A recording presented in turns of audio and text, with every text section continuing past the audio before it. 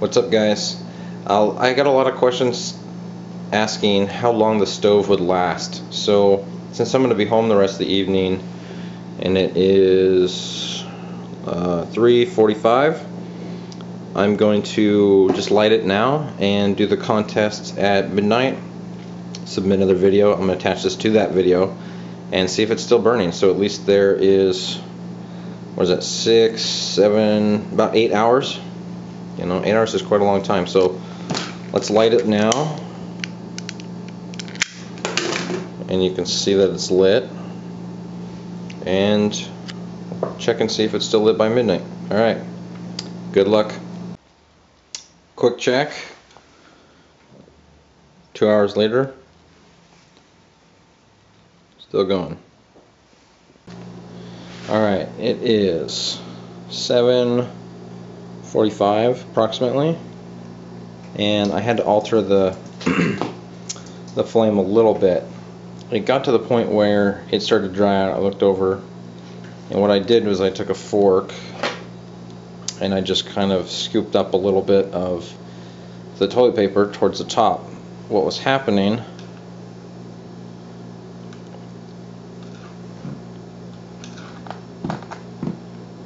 was that the uh, the wick wasn't getting any more gas or any more air, oxygen so it wasn't being able to stay lit, even though there's plenty of, of alcohol still in there. So that was about four hours into it, and uh, see if how long it keeps going. 8:45, still going.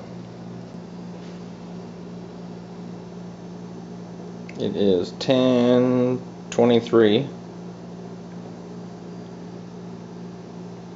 still says 17th there you go.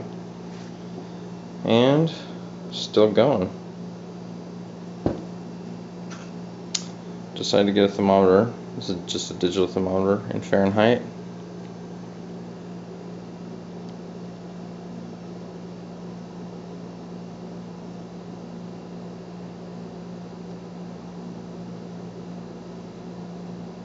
and that would be hot enough to boil water. Obviously it even blanked out after 500 Fahrenheit. So quite hot. It doesn't look like it but you really can't hold your hand on there too long. Alright so I decided to cut this a little short because I want to go to bed. But basically still lit still going. The toilet paper needs to be near the surface so it gets enough oxygen and but the can is still quite heavy which means there's still quite a bit of alcohol left in there. Um, I would say it's probably about oh at least half full still. And that's not including the weight of the toilet paper. Uh, but basically I'm going to cap it and then I'm going to light it tomorrow morning when I wake up and see how much longer it'll burn. Alright.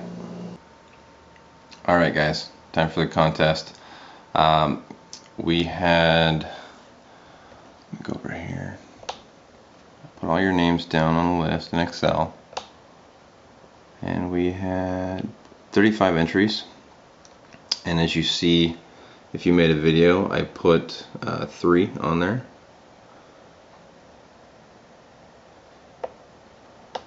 So everybody's on there. Everybody knows what number they are now. So I'm on random.org True number generator 1 through 35. Hit generate. Number 23. Mr. Surgical Precision. You won, buddy. Alright. Uh, thanks for the contest. There was only one person that didn't make it before midnight. He just posted this morning. Um, but yeah, hope you enjoy it. Hey, I had a lot of people PM me personally about the the way that I held this contest. Um, that they really liked that idea of not putting, "Hey, I'm having a contest" on the on the title of the page, putting it towards the end of the video so people who do watch your videos, um, you know, get to reap the reward of, of you know checking out your channel. Um, I don't I don't know where I got the idea from. I didn't take it from anybody, but if anyone wants to use that, um, I encourage them to because um, I don't think that I would have had as many responses as I did, or as many new subscribers that I did in the last 24 hours if um, no one else made a video. I intentionally did the video part, and um, basically, you know, to get a couple more subscribers. You know, people who normally wouldn't have watched, um, you know, came to the channel and checked it out. So. It's just a different way of doing a contest, I guess. So if anyone wants to run with that, you know, feel free by by all means go do that. Thanks, guys.